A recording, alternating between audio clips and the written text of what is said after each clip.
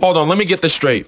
So what you're saying is you had a dream, woke up from it because it became a tragedy, and now you just want things to start off fresh? Yes. So it was more like a wake-up call for you.